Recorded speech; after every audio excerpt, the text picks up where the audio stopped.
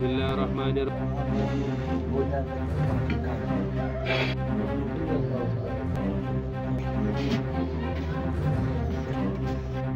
हम बुजुतला में आए, मेरे साथ हमारा बीजेपी यूनिट भी आया, बुनियाद खास तौर से यहाँ पे आके हमने विज़िट किया सबके घर में एक एक करके।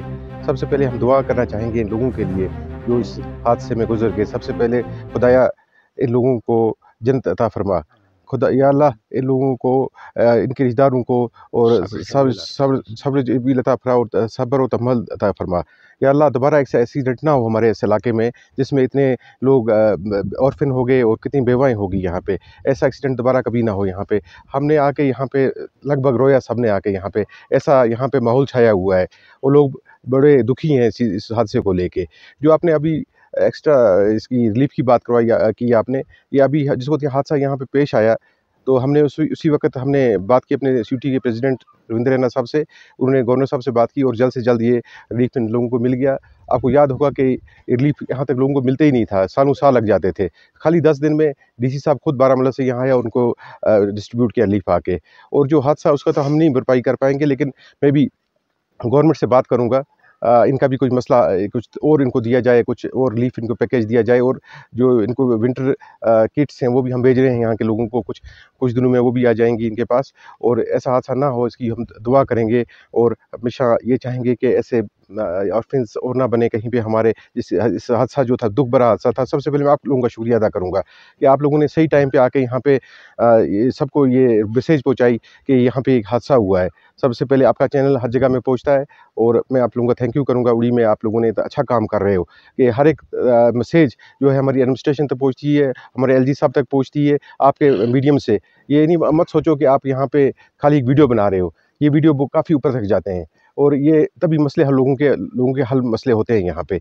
और मैं आगे यही चाहूँगा कि यहाँ पे कि इस गाँव में, मैं आया यहाँ डेवलपमेंट की काफ़ी कमी है।